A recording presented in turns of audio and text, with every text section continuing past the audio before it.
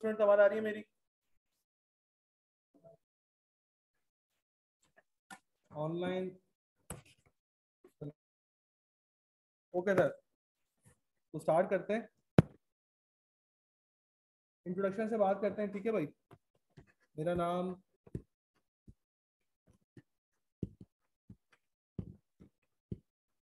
मेरा नाम अरसलान सिद्दीकी है और मैं सी ए फाइनलिस्ट हूँ। इसके साथ साथ मैंने अपना ग्रेजुएशन जो कंप्लीट किया था, वो 2016 में कंप्लीट किया था, ठीक है ना? बहुत से लोग होते हैं जो इंटरमीडिएट करके सीए में आते हैं, बहुत से लोग होते हैं जो ए लेवल्स करके सी में आते हैं। मैं उनमें से हूँ जो ग्रेजुएशन करके सीए में आया था, ठीक है ना? इसके साथ साथ मैं एक ऑडिट फर्म में अपनी आर्टिकल्स कर रहा हूँ। इसमें मैंने जो है वो फार्मास्यूटिकल्स कंपनीज़ का मैंने ऑडिट किया है, ठीक है? बैंक वगैरह का ऑडिट मैंने किया, ठीक है ना? इसके साथ साथ अगर मैं बात करूँ तो मैथ्स एंड स्टैट्स एक्सपर्ट का टाइटल भी मेरे पास है। तो एक तो छोटा सा इंट्रोडक्शन है मेरा, ठीक है ना? नामों से स्टार्ट करते हैं। मुझे अपने अपने नाम बताओ कि क्या क्या नाम रखे अम्मी अबू ने। हाँ भाई। सात। जो अम्मी अबू ने रखा है वो बताना है, ठीक है ना? बाकी जी साहब हाँ अली मोहम्मद। जी। अरहम। काशिफ। वो काशिफ, वो तो नहीं मीम पे आ रहा आजकल। जी। लेबाल। रिबाल। ओके। नबील। जी। साद कासिम और, जी मुबशर जी, इब्राहिम, आमना। अच्छा एक बात याद रखो कि मुझे ना नाम थोड़े से देर में याद होते हैं। तो अगर मैं किसी बंदे से दो तीन दफ़ा नाम पूछूँ ना तो ऐसा अज्यूम नहीं करना कि सर आपको मेरा ही नाम नहीं पता। ठीक है ना? तो मुझे थोड़ा सा नाम देर में याद होते हैं। अच्छा इसके साथ साथ अगर मैं टीचिंग एक्सपीरियंस की बात करूँ अपनी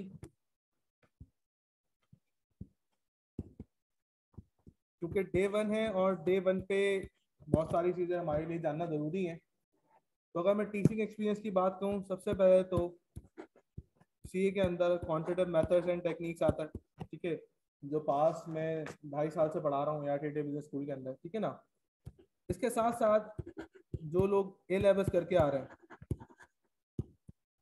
वो दो पेपर देते हैं हमारे पास S one and S two ठीक है? वो मैंने पढ़ाया है। पी वन मैंने पढ़ाया उसके अंदर, ठीक है ना? इसके साथ साथ ओ लेवल्स के अंदर मैंने मैथ्स एंड एड मैथ्स मैंने पढ़ाया ठीक है? इसके साथ साथ एक होता है सी एस एस आप लोगों ने नाम सुना होगा सी एस एस का। क्या होता है C S S central superior services होता है जो कि फेडरल पब्लिक सर्विस कमीशन एक एग्ज़ाम कंडक्ट करता है। For the post of seventeen grade ठीक है ना? तो सी एस एस के अंदर मैंने जर्नल साइंस एंड एबिलिटी पढ़ाया है। उसमें जनरल एबिलिटी का पोर्शन मैंने पढ़ाया था। ये कंपलसरी सब्जेक्ट्स के अंदर होता है, ठीक है ना? इसके साथ साथ एक पेपर होता है स्टैटिस्टिक्स का।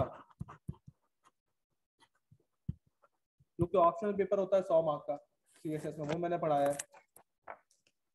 इसके साथ साथ अगर हम मैट्रिक और इंटरमीडिएट की तरफ़ आते हैं। तो इंटरमीडिएट के अंदर मैंने इंजीनियरिंग पढ़ाई है। इंजीनियरिंग वालों को मैथ्स पढ़ाया। इंटर कॉमर्स वालों को मैंने अकाउंट्स और मैथ्स पढ़ाया, ठीक है ना? इसके साथ साथ जो लोग ग्रेजुएशन करते हैं बीकॉम बीकॉम पार्ट वन के अंदर बीकॉम पार्ट वन के अंदर मैंने अकाउंटिंग पढ़ाई है। मैथ्स एंड स्टैट्स का एक पेपर होता है उनके पास। मैंने वो पढ़ाया है। बीकॉम पार्ट टू की अगर बात करें तो एक एडवांस अकाउंटिंग का पेपर होता है उनके पास। एक उनके पास कॉस्ट अकाउंट का पेपर होता है। और एक उनके पास पेपर होता है, जिसको हम लोग बोलते हैं ऑडिट एंड इनकम टैक्स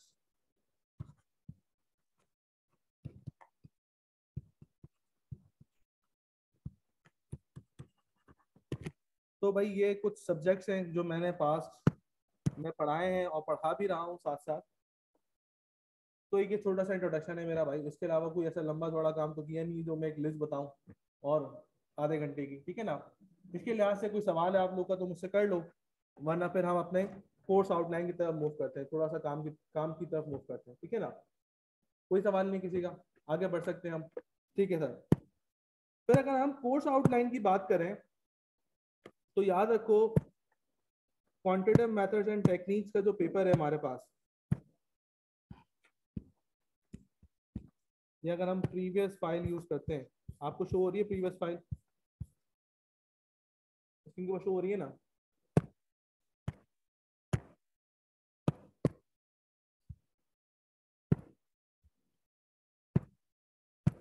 चले सर अच्छा आप लोगों ने क्या ओरिएंटेशन वगैरह अटेंड करी थी? नहीं ओरिएंटेशन अटेंड नहीं करी आप लोगों ने। करी जिन्होंने करी होगी, उनको पता होगा, ठीक है ना? अच्छा हर बंदा ये सोच रहा होता है कि हम सीए क्वालिफाई होंगे, पैसा ही पैसा होगा। पैसा देख के बंदा सीए में आ रहा है कि भाई वो फलानी कंपनी का सीईओ है, उसकी चालीस लाख रुपए सैलरी है ऑडी भी है, घर में गाड़ी भी दी हुई है तो अजीब शशके चल रहे हैं, ठीक है ना? हेलीकॉप्टर में बंदा उतर रहा है सीए करने के बाद तो भाई ऐसा रियल लाइफ में नहीं होता। अच्छा मुझे एक बात से ये होता है कि हर कोई ये बताता है कि सीए करोगे, इतने लाख सैलरी होगी, ये गाड़ी होगी, वो घर होगा। कोई ये नहीं बताता कि सीए होता कैसे? है ना, हमने कोई बता ही नहीं रहा यार ये कि सीए होता कैसे। सब ये बताए चले आ रहे हैं कि भाई वो, उस कंपनी का सीईओ उसकी एक करोड़ रुपए सैलरी है। ये नहीं बता रहा कि उसने जो अपना साढ़े पाँच साल ज़िंदगी गुजारे हैं उसमें ऐसा क्या हरकत करी उसने जो वो सीए क्वालिफाई हुआ? सीए हर कोई क्वालिफाई थोड़ी होता है। हर अटेम्प्ट के अंदर हज़ारों बच्चा एडमिशन ले रहा है तो क्या हज़ारों बच्चे क्वालिफाई हो रहा है क्या? पाँच परसेंट बच्चे क्वालिफाई हो रहे हैं। तो वो ऐसा करके आ रहे हैं, जो कि 95 परसेंट बच्चे नहीं कर रहे। हो सकता है हम भी उनमें से हो, जो 95 के अंदर शामिल होंगे, ठीक है ना? तो वो हरकत क्या है जिससे सीए होता है? ये कोई नहीं बताता, लेकिन मैं बताता हूँ, पहले दिन ही बताता हूँ। देखो, एक अपनी डेली रूटीन हमने सेट करनी होती है। मिसाल के तौर के ऊपर आपके पास दिन में 24 घंटे सही ना? तो अगर दिन में आपके पास 24 घंटे हैं तो 24 घंटे में से मिसाल के तौर पर क्लासेस आपके पास कितने घंटे आठ घंटे क्लासेस है, मैक्सिमम आठ घंटे क्लास आप लगा लो। तो अगर आठ घंटे हम क्लासेस के माइनस करते हैं तो टोटल अवेलेबल कितनी क्लासेस, कितने घंटे बचे? सोलह घंटे हमारे पास बचे दिन में। सोलह घंटे बचने के पास अगर हम दो घंटे का ट्रेवल लगाए आने जाने का अगर मैं ट्रेवल के दो घंटे माइनस करता हूँ तो रिमेनिंग कितना टाइम बचता है? चौदह घंटे बचते हैं। मिसाल के तौर के ऊपर इन चौदह घंटों में से सोने का टाइम आठ घंटे निकाल दो। आठ घंटे बहुत टाइम है यार। ठीक है? अभी आगे चलोगे तो पता चलेगा कि यार तीन, चार घंटे, पाँच घंटे सोना है। आठ घंटे सो, सुकून से कोई मसला नहीं है। ठीक है ना? अगर आठ घंटे भी सोते हो तो अवेलेबल कितना टाइम बचा? भाई देखो मैं सारे काम निकाल रहा हूँ, ठीक है? आने जाने का टाइम भी मैंने निकाला, अपने स्टडीज़ का टाइम भी निकाला, सोने का टाइम भी निकाल दिया। एक घंटा मैंने ऐसे इन जस्ट का निकाल दिया एक घंटा निकाल दिया मैंने। मोबाइल वगैरह का व्हाट्सएप फेसबुक का, ठीक है? अवेलेबल कितना टाइम बचा? है? खाना ही किसी घंटे में कर लो ना यार, और क्या करोगे? कितनी देर खाना खाते हो? ये जो खिलाने वाला काम है और जो पिक एंड ड्रॉप की सर्विस है ना, ये जरा थोड़ा सा दूर रखना पड़ेगा। खास तौर पर पिक एंड ड्रॉप की सर्विस बड़ी खतरनाक है। एक्सपीरियंस है भाई इसका, हमें तो नहीं पता है बात का। एनीवेज तो एक घंटा हमने और ऐसी माइनस कर दिया हमारे पास बचते हैं पाँच घंटे। इस पाँच घंटे में हम क्या करेंगे, अपने पास सेल्फ स्टडी करेंगे। देखो, ये एक वो बाहर फॉर्मूला है जिसको आप ऑप्ट करोगे तो आप अपने सीए में पढ़ाई के साथ साथ अपनी बाकी सोशल लाइफ भी मेंटेन रख सकोगे। अगर ये फॉर्मूला नहीं अपनाओगे तो बहुत से ज़्यादा मुश्किल हो जाएगा। सीए जितना लोगों के लिए आसान है ना, उससे ज़्यादा लोगों के लिए मुश्किल है। आसान किन के लिए? आसान उनके लिए जो ये सीक्वेंस फॉलो करते हैं अपने पास डेली रूटीन जो ये फॉलो करते हैं। अनफॉर्चुनेटली क्या होता है कि हम जिस बैकग्राउंड से आते हैं ना, भले वो इंटरमीडिएट का हो, भले वो ए लेवल का बैकग्राउंड हो, हम एक चीज़ के गुलाम है। बताओगे किस चीज़ के? नहीं। हम एक चीज़ के गुलाम है जिसको हम लोग बोलते हैं पास पेपर्स याद है ना? ठीक है ए लेवल में भी पास पेपर उठा लो मेरा भाई पास पेपर सॉल्व भी मिल जाते हैं हमारे पास, ठीक है? इंटरमीडिएट में भी ऐसी होता है कि ये दो साल से आ रहा है, इस साल भी आएगा, ये एक साल छोड़ के आता है, इस साल भी आएगा, ये पिछले साल आ चुका है, इस साल नहीं आएगा। तो ऐसे बच्चा जो है ना, वो अस्सी परसेंट ले आता है चौड़ा के घूमता है? तो यहाँ पे ऐसा नहीं है। ठीक है? तो सीन ये करना है कि आपने भाई सेलेक्टिव स्टडी सबसे पहली चीज़, एक एग्जामिनर कमेंट में आपको दिखाता हूँ थोड़ी देर में। अगर ये रूटीन फॉलो करोगे तो सीए हो सकेगा। अगर ये रूटीन फॉलो नहीं करोगे तो एट दी एंड पता है क्या होगा? अपने माँ बाप के पैसे जाया करेंगे आप लोग। ढाई, तीन लाख रुपए, चार लाख रुपए अपना टाइम वेस्ट करोगे। और एट दी एंड क्या कर रहे हो बीकॉम कर रहे हो बीबीए कर रहे हो किसी यूनिवर्सिटी में जाके। ठीक है ना? कुछ और काम कर रहे हो सीए नहीं करोगे। तो ये एक वो वाहिद रूटीन है। अच्छा जब जिस तरह के साथ आगे बढ़ते चले आएँगे सीनियर होते चले आएँगे, कैफ में आओगे, आपको अंदाज़ा होगा हाँ यार, पाँच घंटे नहीं पढ़ूँगा, छह घंटे पढ़ूँगा, साढ़े पाँच घंटे पढ़ूँगा, चार घंटे पढ़ूँगा। तो जब तक एक सिंसियर हो जाओगे, तुम्हें पता चल जाएगा कि हाँ यार, कितने देर पढ़ूँगा तो मेरी इफ़ेक्टिव स्टडीज़ होगी। ठीक है ना? तो उस लिहाज से अपनी डेली रूटीन को आप लोग एडजस्ट कर सकते हैं। इसके साथ साथ अगर हम बात करते हैं एग्ज़ाम पैटर्न की ना तो टोटल तुम्हारे पास जो है वो हंड्रेड मार्क्स का पेपर है। ठीक है? पहले होता यह था जब ए था हमारे पास तो चार पेपर्स होते थे, चार पेपर्स में से तीन पेपर्स जो है वो पचास पचास मार्क्स के होते थे, एक क्यू एम जो सौ मार्क्स का होता था। ठीक है ना? फिर पीआरसी आ गया पीआरसी के अंदर बाकी सारे पेपर्स जो है वो सौ सौ मार्क के हो गए। ठीक है?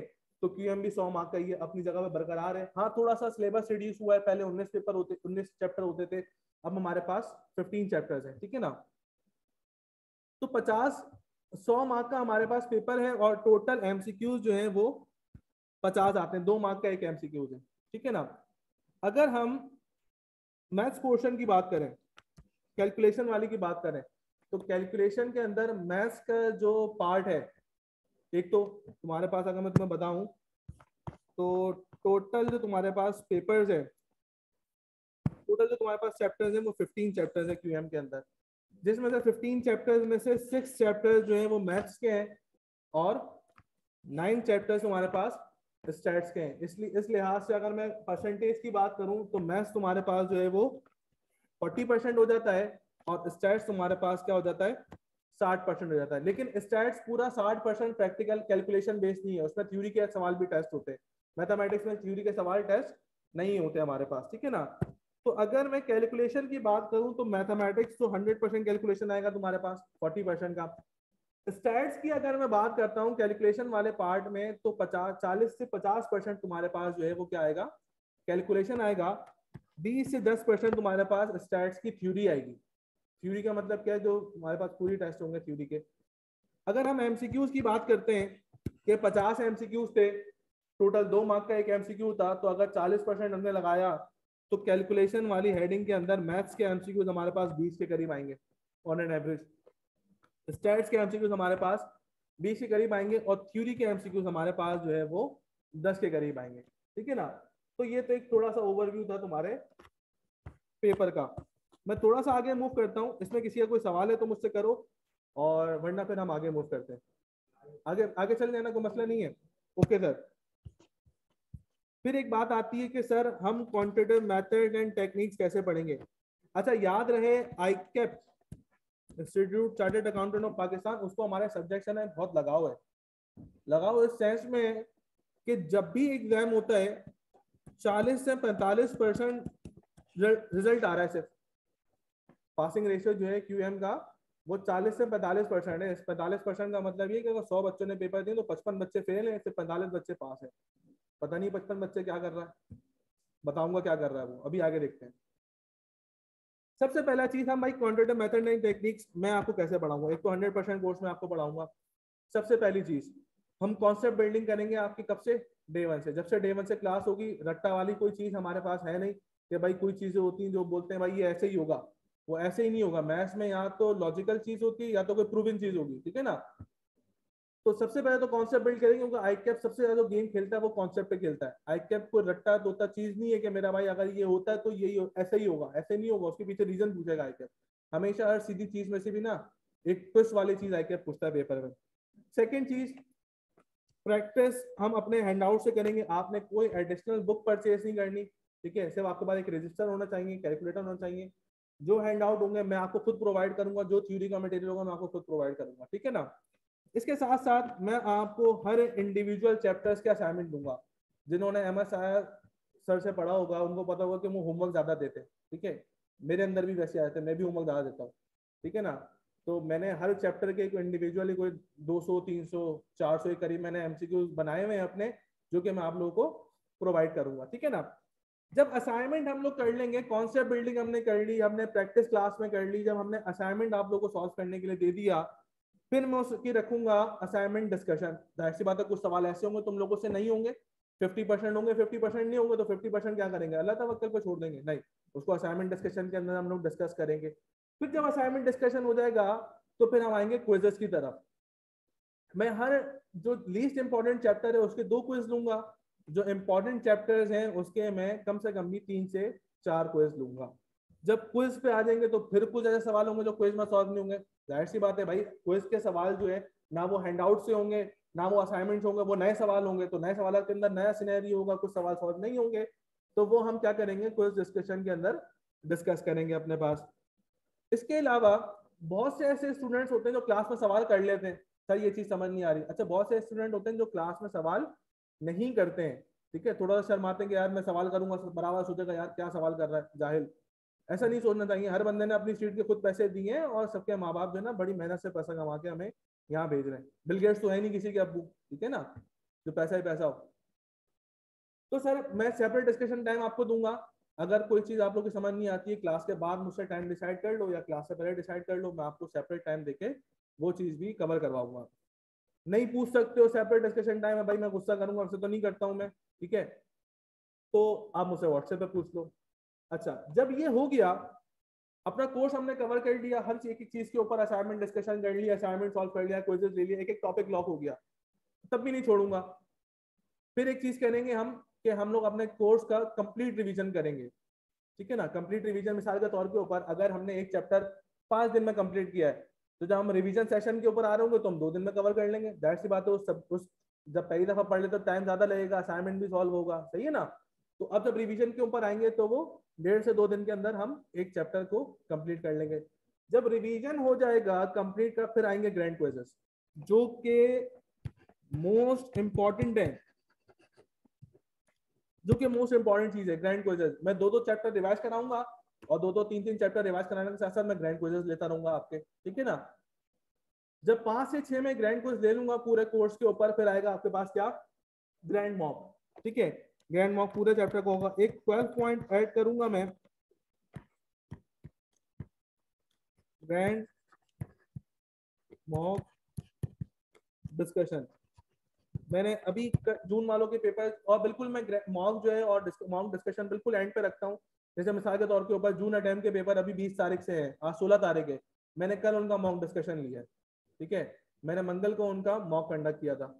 ठीक है ना? तो जो चीज़ें होंगी वो हम मॉक डिस्कशन के अंदर भी जो है ना वो कवर कर लेंगे, ठीक है? तो ये तो वो सारी चीज़ें थी जो हम अपने पास पीएम को करेंगे। देखो, एक बात बताता हूँ मैं आपको। इस सब्जेक्ट को ना मैं बहुत अच्छी तरीके से जानता हूँ। ये वो सारी चीज़ें हैं जिसमें बच्चा अगर फुलफिल नहीं होगा ना यार, बहुत मुश्किल हो जाएगा उसका। मैं आपको बताऊँ कि यार डे वन पे बच्चा हमारे साथ होता है, ठीक है? जब हम प्रैक्टिस कर रहे होते हैं क्लास में, तब बच्चा हमारे साथ होता है। जब वो असाइनमेंट हम सॉल्व कर रहे होते हैं, आधे से ज़्यादा आवाम गायब हो जाती है। पता नहीं क्यों, अब्बू से सॉल्व करेंगे कर जाएगा क्या? असाइनमेंट डिस्कशन हम रखते हैं, बच्चा तब गायब है। भाई क्यों यार, क्या मतलब आपने ये करना है, आप मोटिवेटेड हो यार, इस तरह की हरकत नहीं होनी चाहिए, ठीक है ना? तो मैं वो बता रहा हूँ कि जो बच्चे गलतियाँ करते हैं, जिनकी वजह से पूरा लाइनअप बिगड़ जाता है उनका, ठीक है? तो अगर ये सीक्वेंस ब्रेक होती है ना टीचर स्टूडेंट की तो फिर अपनी मदद आपके तहत ना बहुत सारे काम ऐसे होंगे जो आपने खुद से करने होंगे, ठीक है ना? तो ये गलतियाँ आप लोगों ने नहीं करनी है। इसके साथ साथ रीजन ऑफ़ फेलियर बच्चा फेल क्यों हो रहा है? वो पचपन परसेंट बच्चा, जो पचपन परसेंट बच्चा फेल हुआ है, पचास से परसेंट पचपन परसेंट बच्चा, वो फेल क्यों हो रहा है? रीजन है ना हर चीज़ के फेलियर के। सबसे पहला काम आई कैप जब भी अपना एग्ज़ाम कंडक्ट करता है तो आई कैप एग्जामिनर कमेंट्स देता है। पेपर्स को देखते हुए कि बच्चे ने क्या मिस्टेक करी है, क्या नहीं करी है। तो सबसे पहला कमेंट जो आई के एग्जामिनर का हर साल होता है, एक साल नहीं, हर साल, हर अटेम्प्ट में आई का एग्जामिनर कमेंट ये सेम होता है। पहली चीज़ क्या? सेलेक्टिव स्टडी सेलेक्टिव स्टडी बोले तो मिसाल के तौर पर वो पंद्रह चैप्टर है, मैं आपसे बोलूँ, भाई, दस चैप्टर इंपॉर्टेंट है। बच्चा दस चैप्टर पकड़ के जा रहा है। यार आई कैप का जो एग्जामिनर है ना, उसके उसके बाल सफ़ेद है। ठीक है क्वालिफाई हुए हुए दस पंद्रह साल का एक्सपीरियंस है। उसको पता है यार, जो बच्चा है ना, बीस बीस साल का, अट्ठारह साल का, बाईस साल का, इसकी थिंकिंग लेवल क्या है, ये कहाँ तक सोचेगा? उसको पता है कि किस बैकग्राउंड से आ रहा है। ए लेवल्स का तो ए लेवल्स में क्या होता है? इंटर का तो इंटर में क्या होता है? तो उसको हमारी बाखूबी बहुत सारी चीज़ें पता है। तो सबसे पहला कमेंट क्या होता है? एग्जामिनर का कि सिलेक्टिव स्टडी की वजह से बच्चा फेल हो रहा है। बच्चा जा रहा है वो दस चैप्टर करके। एग्ज़ाम में आए पाँच चैप्टर ज़्यादा रहे। ठीक है ना? मैं तो आपको बता दिया भाई दस चैप्टर ऐसे हैं जो इंपॉर्टेंट है। तो बाकी के पाँच चैप्टर पे कोर्स एलिमिनेट कर दे, कर देने चाहिए जब इंपॉर्टेंट नहीं है तो एग्जामिनर वहीं से सवाल करता है। ठीक है? तो सबसे पहला बच्चा जो हमारा फेल होता है वो सिलेक्टिव स्टडी की वजह से फेल होता है। याद रखो, पूरे सीए के अंदर कभी भी सिलेक्टिव स्टडी नहीं करनी है। कोई एक चैप्टर होगा ना यार, एक चैप्टर तक आप लोगों ने छोड़ के नहीं जाना। मैं आपको आज का नहीं बता रहा, मैं आपको फ्यूचर का बता रहा हूँ। ठीक है? कैफ का बता रहा हूँ फाइनेंस का बता रहा हूँ। अभी का तो करना ही करना ऐसा है। कि कोई एक चैप्टर भी ऐसा हो जो कि बिल्कुल लीस्ट इंपॉर्टेंट हो। पास पेपर्स में आया हुआ नहीं है। पाँच साल हो गए पास पेपर्स में एक चैप्टर टेस्ट नहीं हो रहा। एक वाइड चैप्टर मिसाल के तौर के ऊपर एक बोलता हूँ मैं। एक चैप्टर है चैप्टर नंबर वन किसी भी सब्जेक्ट का उठा लो टेक्स्ट का उठा लो। पाँच साल हो गए। दस अटेम्प में टेस्ट ही नहीं हो रहा। आप लोग क्या सोचोगे? अबे छोड़ देते हैं यार, हमारी अटेम्प में भी टेस्ट नहीं होगा। तुम्हारी अटेम्प में बीस मार्क का टेस्ट हो जाएगा। गया बच्चा। अब अस्सी में से पचास लेने तो पचास परसेंट वाला पास होता है हमारे पास, ठीक है ना? तो एक बात याद रखना, पूरा कोर्स आप लोगों ने कवर करना होगा, कोई एक चीज़ नहीं छोड़ के जानी है, ठीक है? दूसरी चीज़, जब आपका कोर्स कंप्लीट नहीं है तो आपके पास सेकंड एग्जामिनर कमेंट होता है लैक ऑफ़ नॉलेज नॉलेज ही नहीं आपके पास, ठीक है? मैंने आपको जैसे ही बताया कि आई कैप हर सीधी चीज़ में से भी ना ट्विस्ट करके चीज़ें पूछता है, वो ये नहीं पूछेगा, मेरा भाई इसका फॉर्मूला बताइए, क्या होगा? सीधा सवाल बताइए, क्या होगा? नहीं, सीधे सवाल में से भी टेढ़ी चीज़ पूछता है। तो लैक ऑफ़ नॉलेज अगर आपके पास कॉन्सेप्ट बिल्डिंग आपके नहीं है कॉन्सेप्चुअली साउंड आप लोग नहीं हो तो मेरा भाई पेपर में बहुत मुश्किल होगी। तीसरा पॉइंट लैक ऑफ़ प्रैक्टिस ज़ाहिर सी बात है, जब आपने कोर्स कंप्लीट नहीं किया तो प्रैक्टिस भी नहीं है आपकी। ठीक है ना? अच्छा मिसाल के तौर के ऊपर, मैंने एक चैप्टर डिस्कस किया फाइनेंशियल मैथमेटिक्स का। उसमें कॉन्सेप्ट बहुत ज़्यादा है। अभी बताऊँगा इसकी इंपॉर्टेंस भी कितनी है की लाइफ के अंदर। जब कॉन्सेप्ट उसमें बहुत ज़्यादा है, आप कॉन्सेप्चुअली साउंड हो, आपने बोला, सर, मुझे पूरा पता है कि यार ये फॉर्मूला कब लगेगा, ये कब लगेगा, ये कब लगेगा, क्या कंडीशन होगी तो ये चीज़ अप्लाई होगी, क्या कंडीशन होगी? तो मैं ये करूँगा। लेकिन प्रैक्टिस नहीं है। तो क्या एग्ज़ाम के अंदर आप गिवन टाइम के अंदर क्या सवाल सॉल्व कर सकते हो?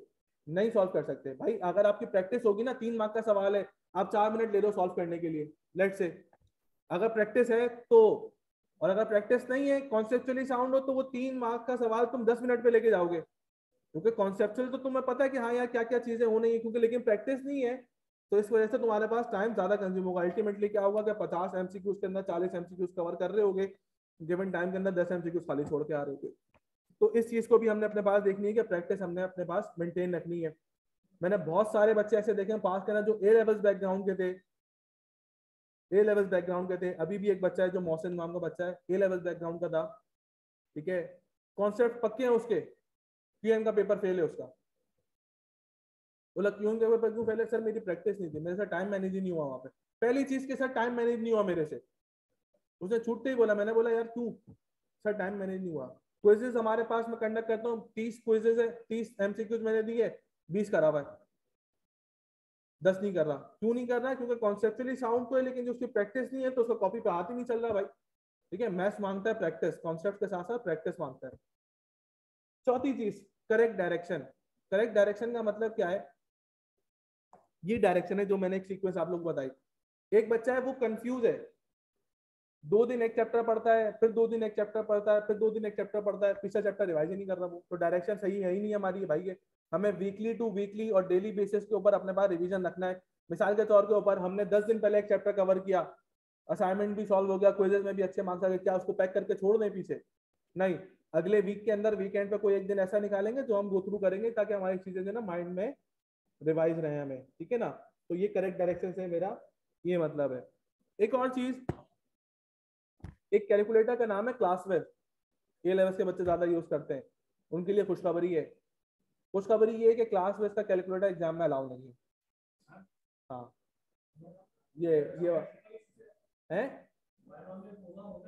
मैं आपको दूसरा वाले कैलकुलेटर करा के दूँगा, टेंशन की बात क्या है? ठीक है तो क्लास विस का जो कैलकुलेटर है, वो अनफॉर्चुनेटली हमारे पास एग्ज़ाम में अलाउ नहीं है। मैं एक लिस्ट शेयर कर दूँगा ग्रुप के ऊपर कि कौन कौन से कैलकुलेटर्स अलाउ है। केसीओ के फ़र्स्ट एडिशन अलाउ है सेकंड एडिशन अलाउ है। क्लास विस से कोई पता नहीं, खास मोहब्बत है तो क्लास विस अलाउ नहीं है। ठीक है ना? लेकिन मसला नहीं है, जो क्लास विस काम करता है, वो बाकी कैलकुलेटर्स भी काम करते हैं। ठीक है? मैं आपसे करवाऊँगा उस पर काम। टेंशन लेने की ज़रूरत नहीं है। एक और चीज़ अब सर, अगर मैं अपने रिजल्ट्स की बात करता हूँ, जहाँ पे आपने एडमिशन लिए एआरटीटी बिज़नेस स्कूल के अंदर, वहाँ का रिज़ल्ट भी तो देख लेते हैं। मैंने आपको बताया आई का रिज़ल्ट चालीस पैंतालीस परसेंट आ रहा है, ठीक है? आपका रिज़ल्ट कितना आ रहा है, ये भी तो बताएँ। तो भाई, जब मैंने पहली अटेम्प्ट पढ़ाई थी दिसंबर ट्वेंटी की, ठीक है ना?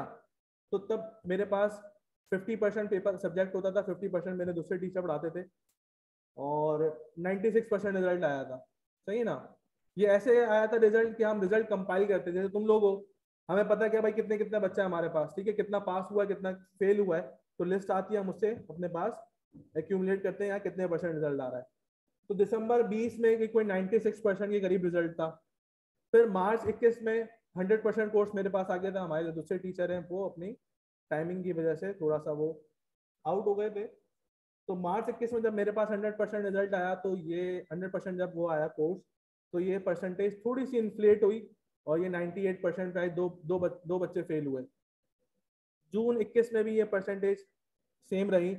हाँ सितंबर 21 के अंदर जैसे सितंबर 22 तुम्हारी अटैम्प्ट है सितंबर 21 भी ए लेवल्स वाले बच्चों की अटैम्प्ट थी तो ये रिज़ल्ट 99 परसेंट था।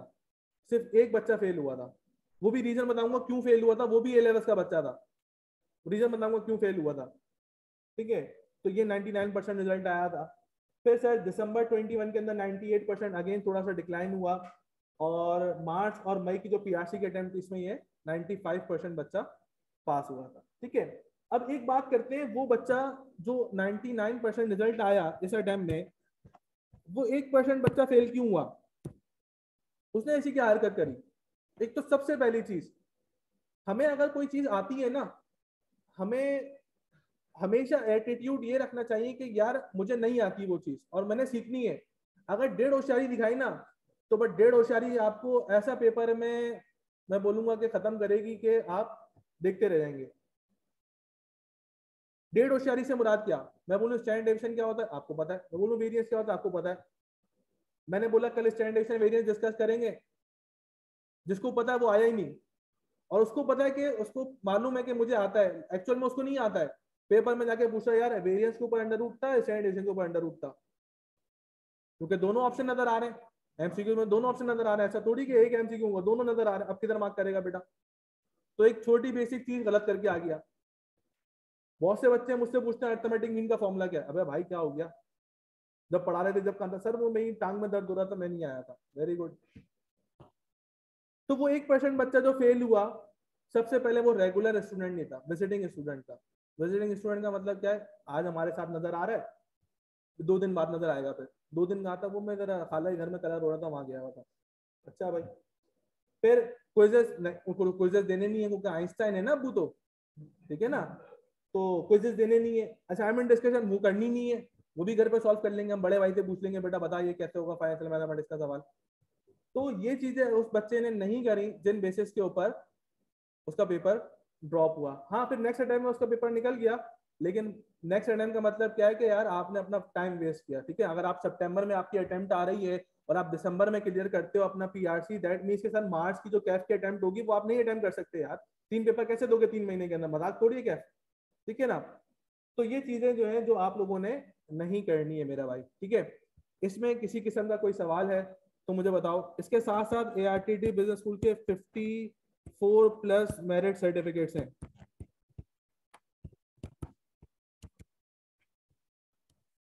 Fifty four plus merit certificates हैं A R T T school के। मैं अगर सितंबर 21 अटेम्प्ट की बात करूँ तो चार बच्चे ऐसे हैं। चार बच्चे ऐसे हैं जो कि हम में जिन्होंने 99 मार्क्स, वैसे तो आई कैप बताता नहीं है हमें कि कितने मार्क्स आए। पास होता है तो पास डिक्लेयर करता है फेल होता है तो फेल के मार्क्स डिक्लेयर करता है कि हाँ 48 आए 46 आए। फिफ्टी फिफ्टी से अब आएँगे तो आई कैप मार्क्स डिस्क्लोज नहीं करता। लेकिन चूँकि बच्चे को पता होता है कि हाँ जो मैं सॉल्व कर रहा हूँ आंसर सही आ रहा है, उन बेसिस के ऊपर मुझे चार ऐसे स्टूडेंट्स थे ए लेवल्स के, जिन्होंने बताया कि सर, मेरे 99 मार्क्स तो कंफर्म है, सिर्फ़ एक मार्क का थ्योरी का सवाल ऐसा है जो मैं गलत करके आया हूँ। ठीक है ना? जी।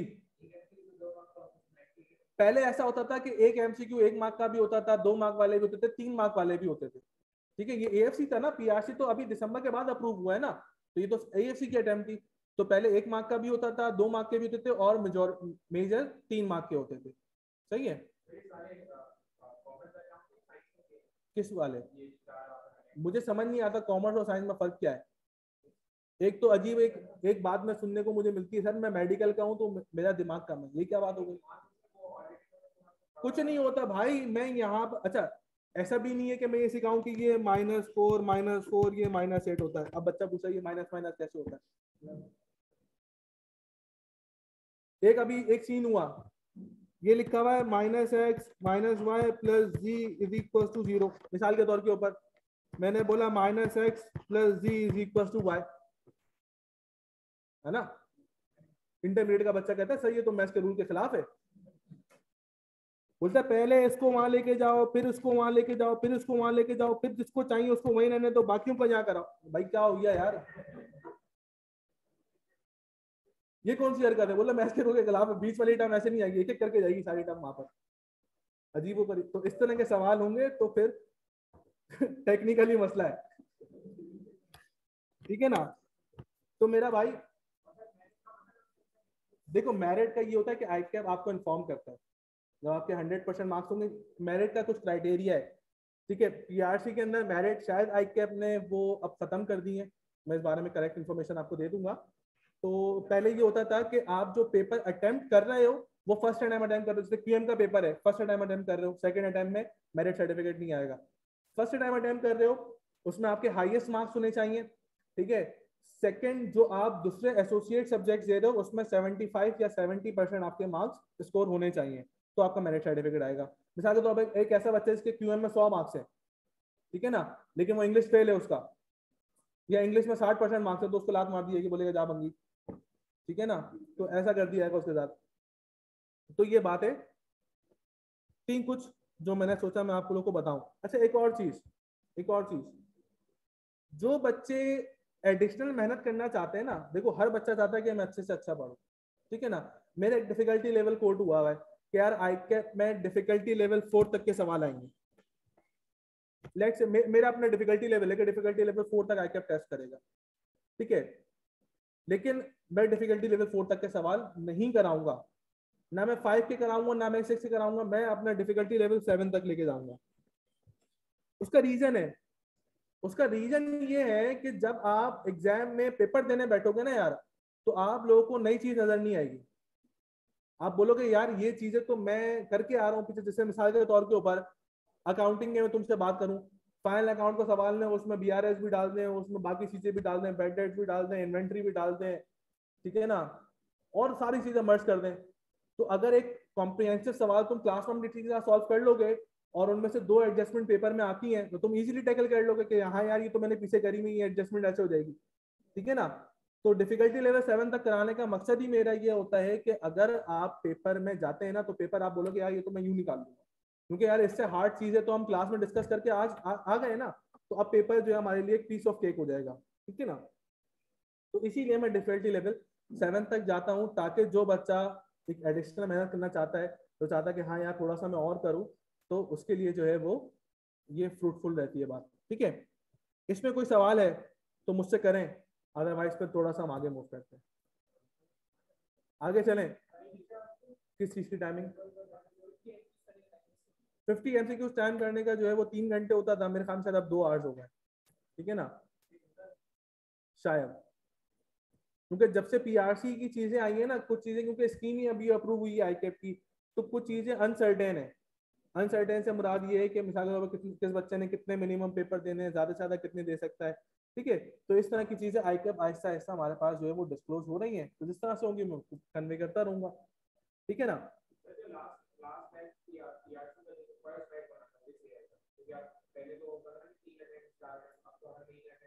बिल्कुल पहली अटेम्प्ट आप रजिस्ट्रेशन के तीन महीने बाद दोगे। मई में थी। वो मार्च में थी। किस लिहाज से? मुझे बताया तो ये रहा रिज़ल्ट ये पीआरसी की अटेम्प्ट थी 95 परसेंट ये टोटल इंटरमीडिएट वाले बच्चे थे। चार, नहीं नहीं, चार चैप्टर ऐसे हैं जो माइनस हुए हैं। हमारे पास जिसमें से डिफ्रेंसिएशन का था चैप्टर वो हमारे पास माइनस हुआ है। मैट्रिसेस वगैरह था, वो हमारे पास माइनस हुआ है। ठीक है ना? इस तरह से एक दो चीज़ें और हैं जो हमारे पास माइनस हुई ठीक है? मेरा भाई, आगे प्रोसीड करूँ मैं? भाई, आप प्रोविज़न बेसिस के ऊपर भी करवा लो ना रजिस्ट्रेशन आई के आप लोग को अलाउ कर रहा है। रिज़ल्ट अवेटिंग बेसिस के ऊपर करवा लो रजिस्ट्रेशन ठीक है? रजिस्ट्रेशन अप्रूव हो जाएगी आपकी। जब रिज़ल्ट आएगा आई के डॉक्यूमेंट सबमिट कराओगे। अल्लाह अल्लाह, खैर, सल्ला। नहीं नहीं, तीन महीने पहले होगी। नाइनटी डेज़ का गैप होना चाहिए तुम्हारे एग्जामिनेशन में। हाँ एग्जामिनेशन फ़ीस तो एंड में ही जाएगी ना। एग्जामिनेशन फ़ीस तो जब आएगी जब तुम अपना रिज़ल्ट सबमिट करा दोगे। पता चल जाएगा एग्जामिनेशन कितने में आ रही, कितने में नहीं आ रही। और फिर अपना सबमिट कराओगे। ठीक है भाई? कोई सवाल? आगे मूव करें। अच्छा अब एक चीज़ आ रही है कॉपी करने वाली, ठीक है ना? अब मैं साथ साथ डिस्कस करता रहूँगा, आप लोग अपने पास कॉपी करते रहेंगे। करवा लो, हो जाएगी। पेपर एंड में। में होंगे, वो बीस के बाद होंगे। ठीक है भाई, आगे मूव करें। अच्छा एक चीज़ और। एक चीज़ और, ये जो सौ सौ पेज का रजिस्टर है ना, ये नज़र नहीं आया यार प्लीज़ मुझे थोड़ा सा एलर्जी है, ये सौ पेज का जो रजिस्टर होता है ना, इतना पतला सा, जिसमें आई टी आई ए भी उसी में चल रहा होगा इकोनॉमिक भी चल रहा होगा और क्यू भी उसी में चल रहा होगा तो इस बात से थोड़ी सी मुझे एलर्जी है। आप एक सेपरेट रजिस्टर बनाओ क्यूएम का अपने पास, ठीक है ना, ताकि सारा मटेरियल आपके पास उस रजिस्टर में मिनिमम फोर हंड्रेड पेज का हो। या अगर स्पायरल ले लो तो दो दो सौ पेज के दो स्पायरल ले लो, ठीक है ना, ऐसे कर लो। अच्छा जी, अब चलते हैं हम अपने कोर्स की तरफ़।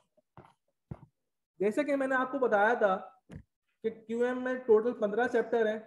सही है? और उन पंद्रह चैप्टर्स के अंदर छह चैप्टर जो है वो मैथ से परटेन करते हैं और छह नौ चैप्टर जो है हमारे पास स्टैट से परटेन करते हैं।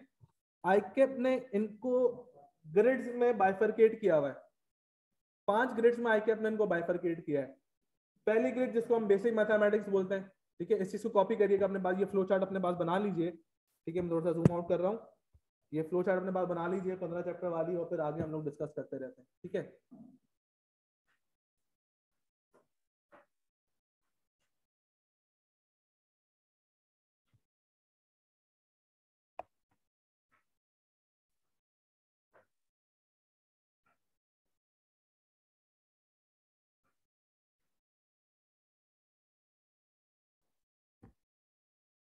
मैं इनशाला आप लोग के साथ एक बहुत भारी टॉपिक के साथ स्टार्ट करूँगा, ठीक है, जो कि इंटरेस्टिंग चीज़ है और एग्जामिनर का बहुत फेवरेट एरिया है और पूरे सीए के अंदर उस सब्जेक्ट की, उस टॉपिक की इम्पोर्टेंस बहुत ज़्यादा है अभी बताता हूँ कौन सा सब्जेक्ट है, उसकी इम्पोर्टेंस क्या है।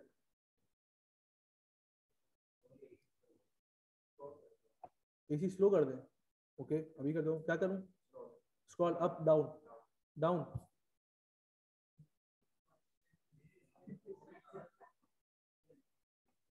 नहीं, मैं समझ गया था कि तुम ऊपर करने करो लेकिन तुमने जो बोला मैंने वो किया।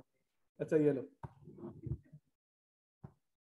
तो ये पाँच ग्रेड्स हैं आपके पास, जिसमें से ग्रेड वन बेसिक मैथमेटिक्स की है एग्ज़ाम में इसकी वेटेज जो है वो 10 से 20 मार्क्स की है, और financial mathematics second grade financial mathematics exam में वेटेज जो है वो 15 से 25 मार्क्स की है। 25 मार्क्स का मतलब ये है कि वन फोर्थ जो है वो फाइनेंशियल मैथमेटिक्स के ऊपर बेस करेगा।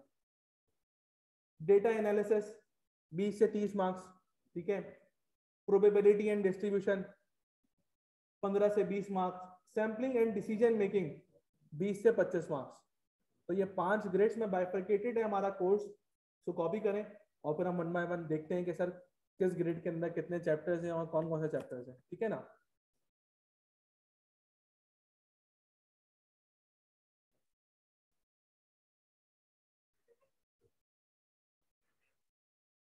मुझे ए लेवल का बैच पढ़ाने में काफ़ी मज़ा आता है एज कंपेयर टू इंटरमीडिएट का बैच हाँ? नहीं. उसमें उसमें क्यों क्यों ऐसा क्यों? हमने भी छोड़ दिया। बहुत जहर है।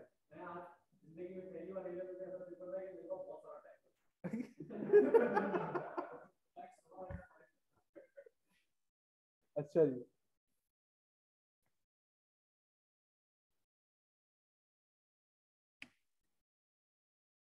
डन ग्रेड कॉपी कर लिया आप लोगों ने।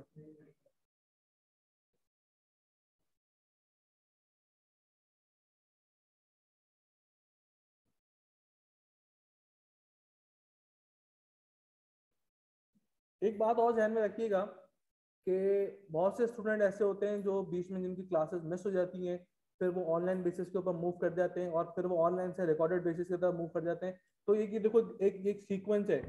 रेगुलर क्लास से आप ऑनलाइन क्लास फ़िज़िकल क्लास से आप ऑनलाइन क्लास में आ रहे हो ऑनलाइन से रिकॉर्डेड पे आ रहे हो रिकॉर्डेड से फिर पेपर फेल पे आओगे और पेपर फेल से फिर सीए के बाहर जाओगे। ठीक है ना? तो कोशिश ये करनी है कि इस सीक्वेंस से आप ना अपने ताल्लुक बना के नहीं रखना है। ठीक है ना? ऑनलाइन क्लासेस कभी भी सब्सटीट्यूट नहीं है। फ़िज़िकल क्लासेस का। ठीक है ऑनलाइन क्लासेस जो फ़िज़िकल क्लासेस की बात होती है, वो ऑनलाइन में कभी भी बात नहीं आती है, ठीक है? मेरा भाई ये ग्रेड कॉपी कर लिया आप लोगों ने।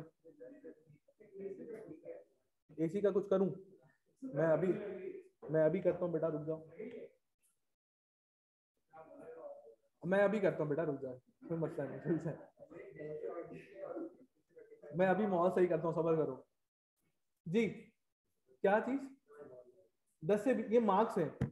ठीक है? अच्छा बेसिक मैथमेटिक्स के अंदर हमारे पास चार चैप्टर आते हैं, जिसमें बहुत इंपॉर्टेंट चीज़ है बेसिक मैथमेटिक्स सही है ना?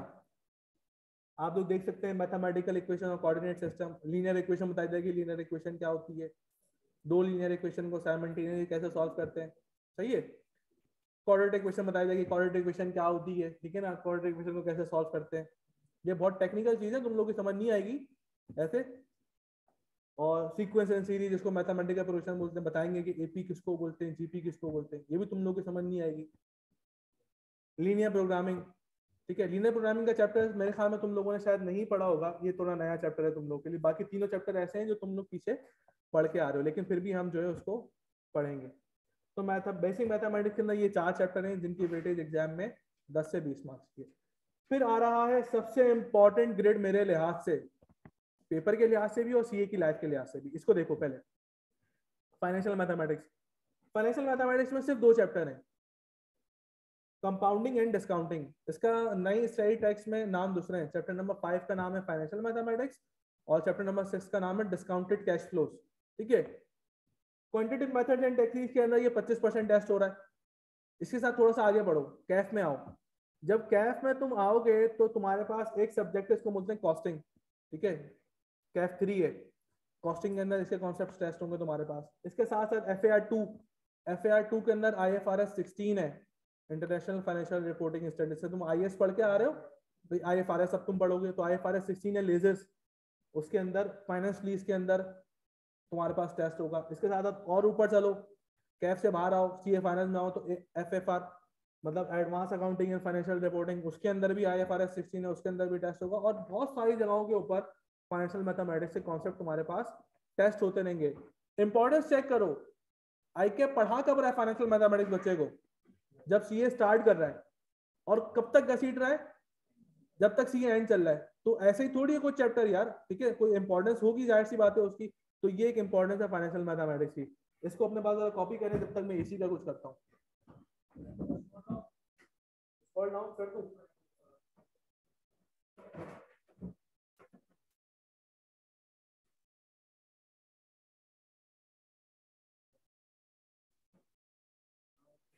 है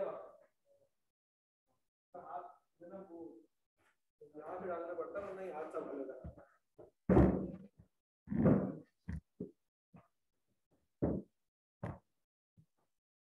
हाँ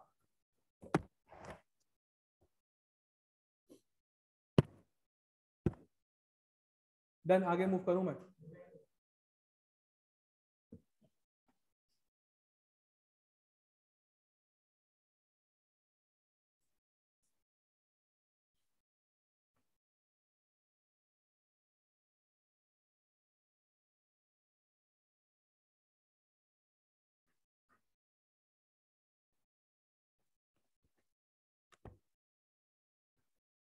आप लोगों में से सीए में सीए के अंदर शौक से कौन है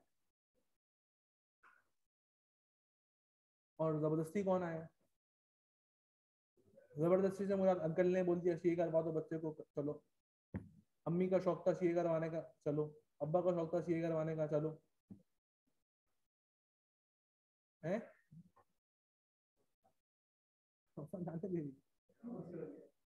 मेरा एक स्टूडेंट था दिसंबर ट्वेंटी का मुसद्दिक तो वो खैर कैफ क्वालिफाई हो गया अपना, और तुम बिल्कुल उससे रिजेंबल करते हो मुझे।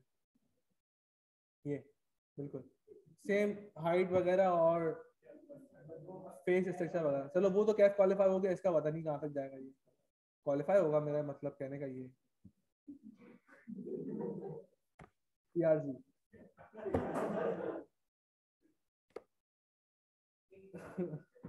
हाँ? बिल्कुल बिल्कुल। तो भाई, अगर मैं ये बोलता हूँ वो बच्चे जिनका पढ़ाई में इंटरेस्ट नहीं है ना चार्टर्ड अकाउंटेंसी बेकार है उनके लिए।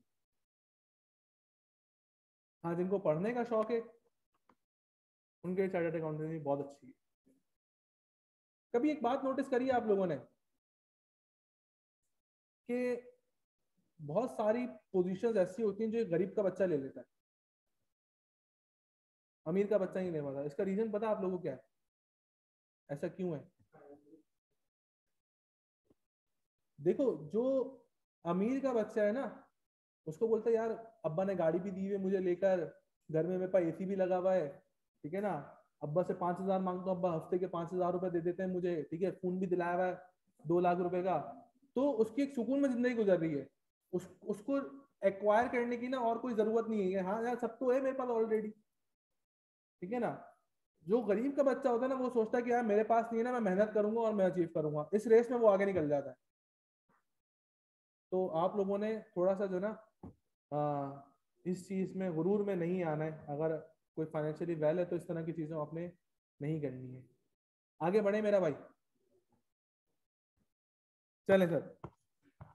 फिर हमारे पास थर्ड ग्रेड हमारे पास आती है डेटा एनालिसिस की।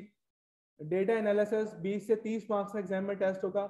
बेसिक मेथड बेसिक स्टैट्स की ग्रेड है ये भी, जिस तरह से बेसिक मैथमेटिक्स की ग्रेड थी, ये भी बेसिक स्टैट्स की ग्रेड है। और बेसिक स्टैट्स की ग्रेड में हमारे पास चार चैप्टर है। Data collection and representation graph वगैरह के बारे में इंफॉर्मेशन बताएँगे आपको। Statistical measures of data mean median mode हो गए क्वार्टाइल्स हो गए परसेंटाइल्स हो गए डेसाइल्स हो गए कोफिशिएंट ऑफ़ वेरिएशन वगैरह चीज़ें हो गई। इन सारी चीज़ों के बारे में बताएँगे। इंडाइसेस इंडेक्स नंबर्स शायद तुम लोगों ने पढ़े हो। ठीक है? Laspeyres price index Paasche's price index ये सारी चीज़ें। रिग्रेशन कोरिलेशन तुम लोगों ने नहीं पढ़ा होगा। ये एक नया चैप्टर है तुम लोगों के लिए। फिर आती है probability and distribution great four probability and distribution अच्छी इंपॉर्टेंस रखता है। फाइनेंशियल मैथमेटिक्स की तरह। और इसमें भी दो चैप्टर्स है हमारे पास। प्रोबेबिलिटी कॉन्सेप्ट जिसके अंदर बेसिक प्रोबेबिलिटी आएगी और प्रोबेबिलिटी की लॉस वगैरह और परम्यूटेशन कॉम्बिनेशन वगैरह आएगा। एंड प्रोबेबिलिटी एंड डिस्ट्रीब्यूशन ये तुम लोगों ने पढ़ा है प्रोबेबिलिटी डिस्ट्रीब्यूशन मुझे बताओ कितनी तरह की डिस्ट्रीब्यूशन होती है? पाँच? तीन? चलो दो? पाँच कौन कौन सी नाम लो?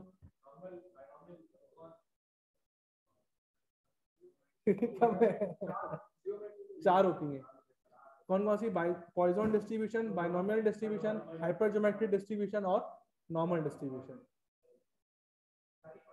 बिल्कुल सारी पढ़नी है बेटा।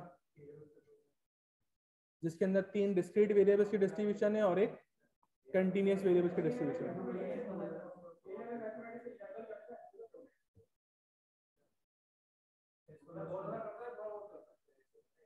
ऑन एन एवरेज करता है।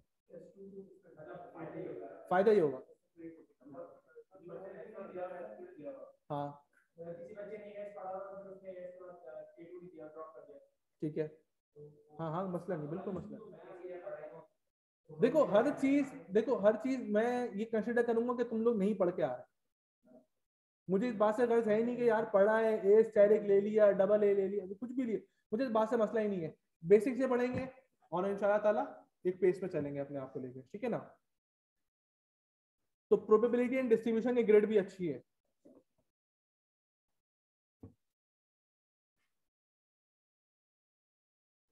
आपको एक बात और बताऊँगा, हमारे स्टैट से चार चैप्टर ऐसे हैं, हमारे स्टैट्स में से चार चैप्टर ऐसे हैं जो CAF six managerial and financial analysis के अंदर कैरी फॉरवर्ड हो रहे हैं। बताऊँगा कौन कौन से। चार चैप्टर ऐसे हैं जो कैफ सिक्स के अंदर कैरी फॉरवर्ड हो रहे स्टैट्स के अंदर से।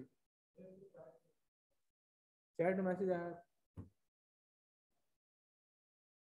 हमें देख लिया। दुआ देख लेते हैं। सर एमसीक्यूज बेस है तो रफ वर्किंग की प्रैक्टिस के बाद समझा नहीं मैं। रफ वर्किंग की बिल्कुल जगह देंगे, आपको एक सेपरेट शीट प्रोवाइड की जाएगी। ठीक है ना? फॉर्मूला शीट नहीं प्रोवाइड की जाएगी। एक बात याद रखना कि पी थ्री की तरह फॉर्मूला शीट आप लोगों को नहीं मिलेगा। हाँ। तो मेरा भाई फॉर्मूला शीट आप लोगों को नहीं मिलेगी फॉर्मूला आपको याद करने पड़े हाँ तो बस यहाँ पर ऐसा है कि आपको फॉर्मूला शीट नहीं मिलेगी। हाँ जो टेबल्स हैं जी टेस्ट और टी टेस्ट के और काय स्क्वायर वगैरह के वो टेबल्स तुम्हें प्रोवाइड होंगे।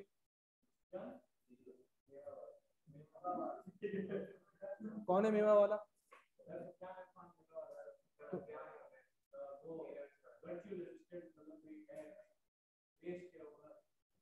अच्छा। ओके, थोड़ा सा मैं आगे मूव करूँ।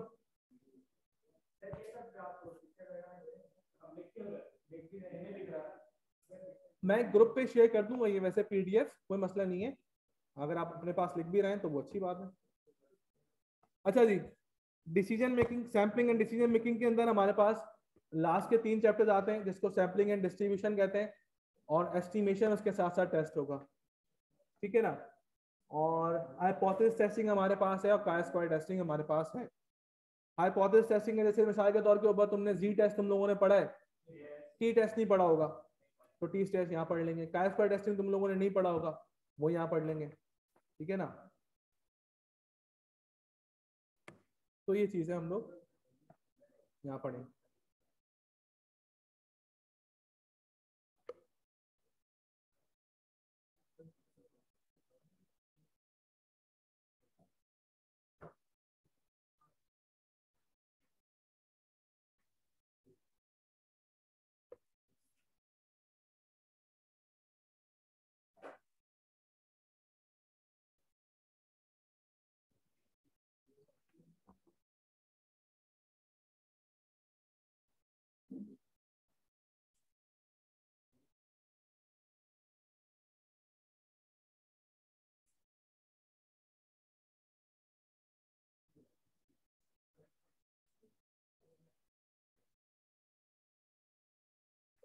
डन।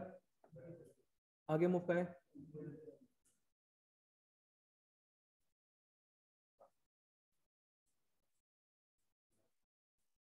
हाँ भाई, पीछे वाली आवाम हो गया। चलो सर, फिर थोड़ा सा आगे मूव करते हैं।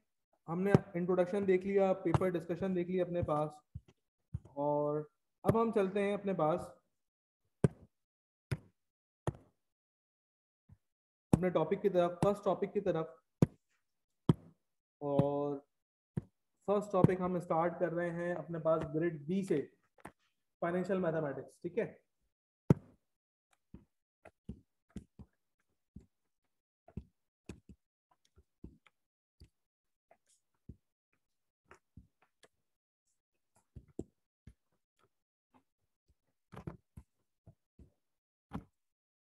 मैं पीडीएफ शेयर कर दूँगा, लेकिन ये क्लास वर्किंग अब चल रही है, इसको कॉपी करिएगा अपने पास, ठीक है ना?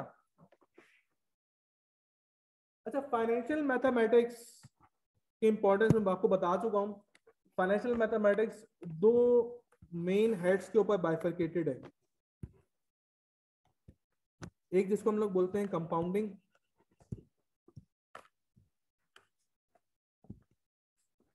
एक जिसको हम लोग बोलते हैं डिस्काउंटिंग आप लोग मेरे साथ साथ कॉपी करिएगा यहाँ से, ठीक है ना? एक समरी ड्राफ्ट कर रहे हैं क्या क्या चीज़ें इसमें होती हैं। एक हमारे पास है कंपाउंडिंग एक हमारे पास डिस्काउंटिंग क्या होती है कंपाउंडिंग क्या होती है डिस्काउंटिंग इसको थोड़ी सी हम डिस्कस करेंगे समरी बना लें पहले, ठीक है ना? फाइनेंशियल मैथमेटिक्स में पहले हमारे पास फ़र्स्ट पे आ रहा है सिंपल इंटरेस्ट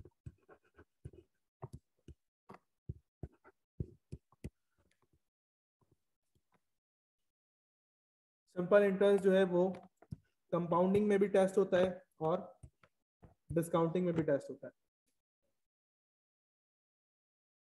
सिंपल इंटरेस्ट के अंदर दो तरह के सवाल आते हैं। एक, जिसको मैं बोलता हूँ बॉन्ड्स के सवाल। बॉन्ड्स हो गए प्रोमिसरी नोट्स हो गए बिल्स हो गए, ठीक है ना? इस तरह के सवाल। और एक, जिसको मैं बोलता हूँ अदर देन बॉन्ड्स तो अदर देन बॉन्ड्स को मैं अपनी जबान में बोलता हूँ नॉर्मल क्वेश्चन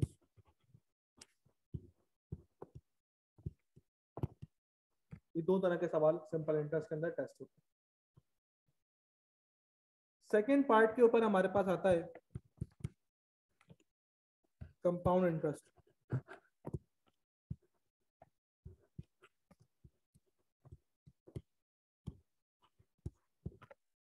कंपाउंड इंटरेस्ट भी हमारे पास दो तरह के सवाल टेस्ट होते हैं। कंपाउंड इंटरेस्ट भी कंपाउंडिंग में भी टेस्ट होता है और डिस्काउंटिंग में भी टेस्ट होता है। और कंपाउंड इंटरेस्ट के अंदर अगेन दो तरह के सवाल टेस्ट होते हैं। सिंपल बॉन्ड वाले सवाल। And sir other than bonds, that means normal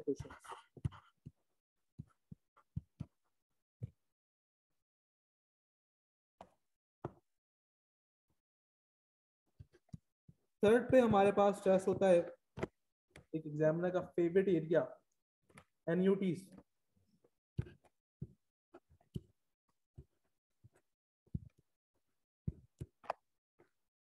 एनयूटीज हमारे पास कंपाउंडिंग में भी टेस्ट होंगी और डिस्काउंटिंग में भी टेस्ट होगी। इसके सामने लिख लेना। मोस्ट इंपॉर्टेंट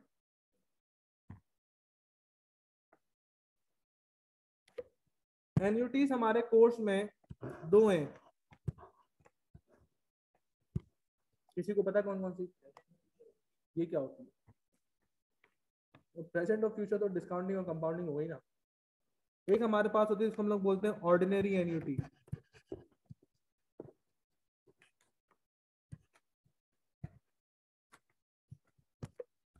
और एक जिसको बोलते हैं हम लोग एन्यूटी ड्यू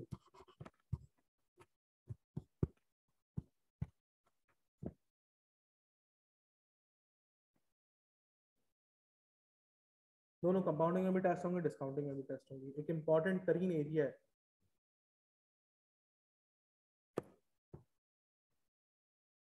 फिर सर, चौथे पार्ट पे हमारे पास आएगा परपिचुटीज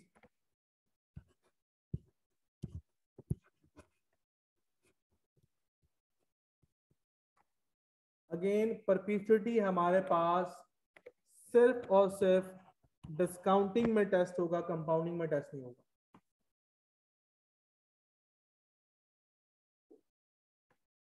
परपिचुटी सिर्फ़ डिस्काउंटिंग में टेस्ट होगा कंपाउंडिंग में टेस्ट नहीं होगा। परपिचुटी भी हमारे पास दो तरह की की है। एक जिसको मैं बोलता हूँ ऑर्डिनरी परपिचुटी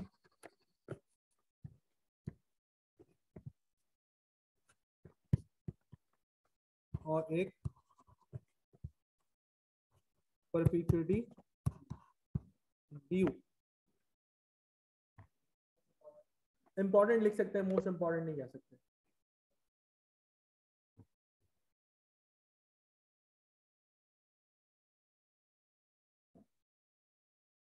डन फिर हमारे पास आता है पाँच नंबर के ऊपर। आप लोगों ने पढ़ा हुआ होगा ये इसको हम लोग बोलते हैं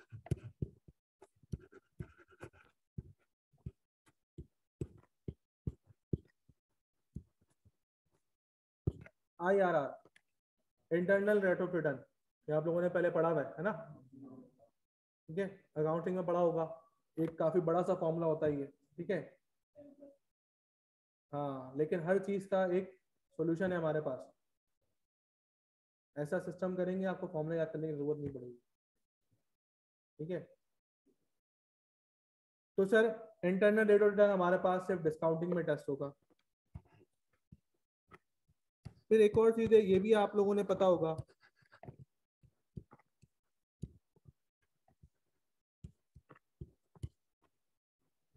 एनपीवी नेट प्रेजेंट वैल्यू ठीक है ना? ये भी आप लोगों ने पहले पढ़ा हुआ है। ये भी डिस्काउंटिंग में टेस्ट होगा कंपाउंडिंग में टेस्ट नहीं होगा। एक चीज़ और, इसको हम लोग बोलते हैं इफ़ेक्टिव एनुअल रेट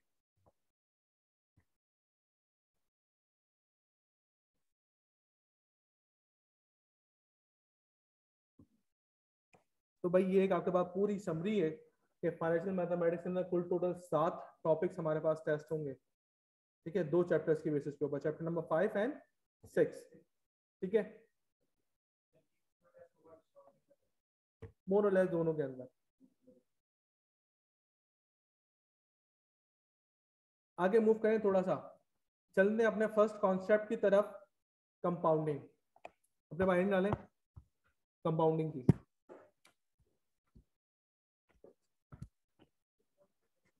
जी।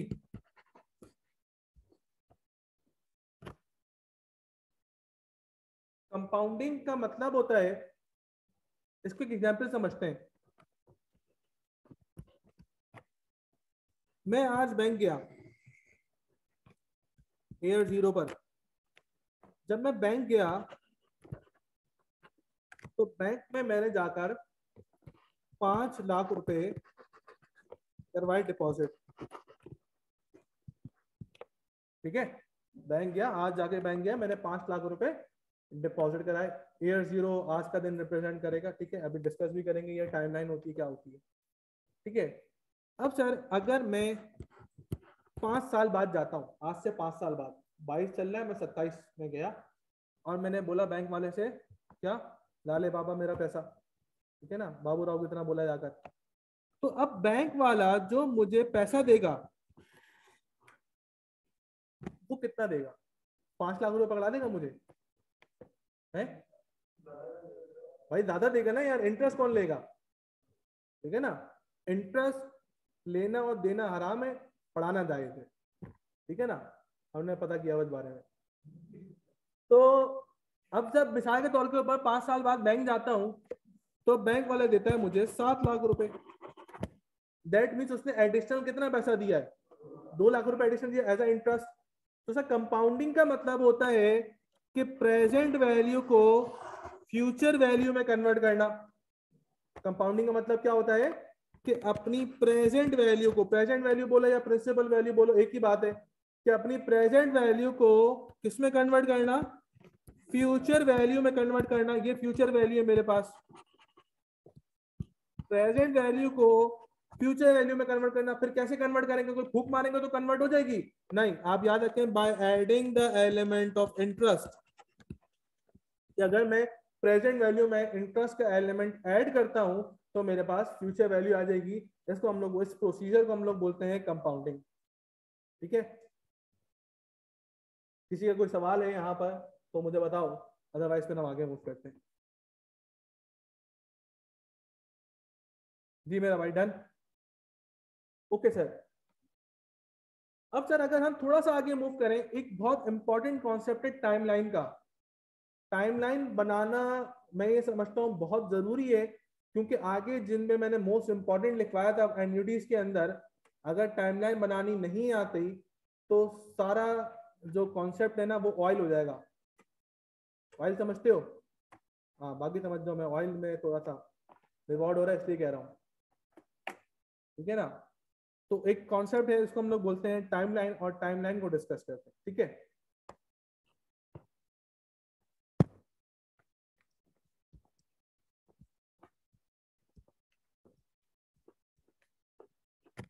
मिसाल के तौर के ऊपर, ये मेरा एक टाइमलाइन टॉप है, जिसमें ये एयर ज़ीरो है एयर वन है एयर टू है एयर थ्री है एंड एयर फोर एक चार साल की हमने एक टाइमलाइन अपने पास ड्रॉ करी है।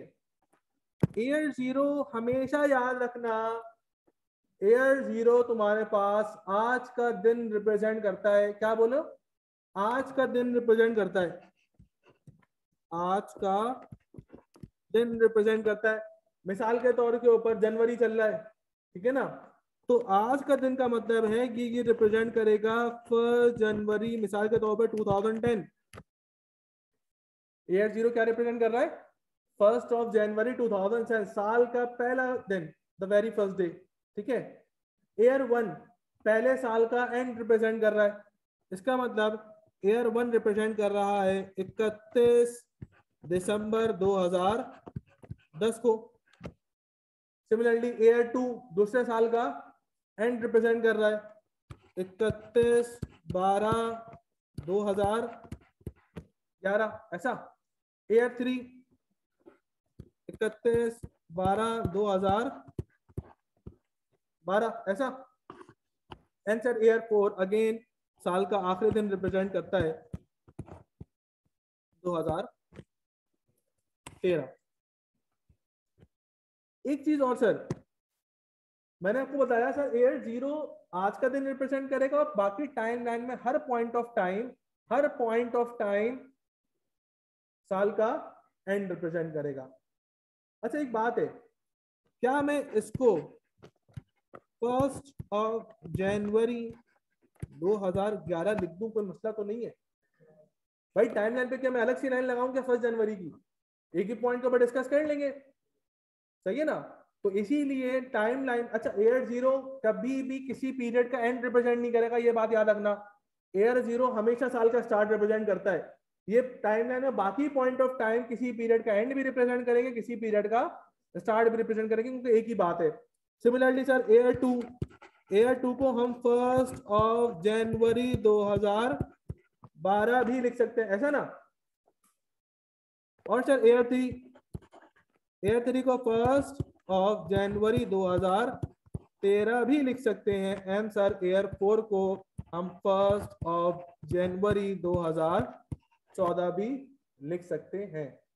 याद रखने वाली बात ये टाइम लाइन में हर point of time except year zero दो पॉइंट ऑफ़ टाइम को रिप्रेजेंट करेगा, पहले साल का एंड और दूसरे साल का स्टार्ट लेकिन एयर ज़ीरो हमेशा पहले साल का स्टार्ट रिप्रेजेंट करेगा, किसी साल के एंड को रिप्रेजेंट नहीं करेगा वो। क्या बात समझ में आती है? एयर ज़ीरो की वैल्यू को, जो एयर ज़ीरो पे अमाउंट डिपॉजिट होता है या लोन लेते हैं हम, उस अमाउंट को हम लोग अपने पास बोलते हैं प्रेजेंट वैल्यू या प्रिंसिपल वैल्यू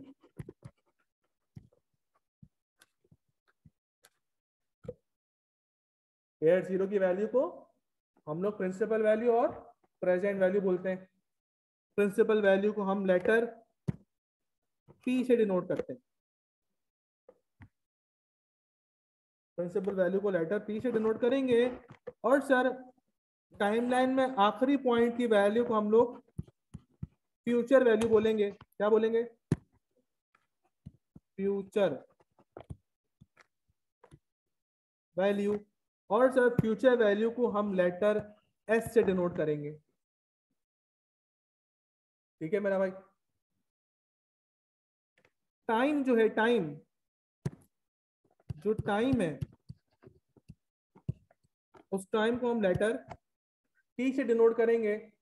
जो इंटरेस्ट का अमाउंट रिसीव्ड होगा अमाउंट ऑफ़ इंटरेस्ट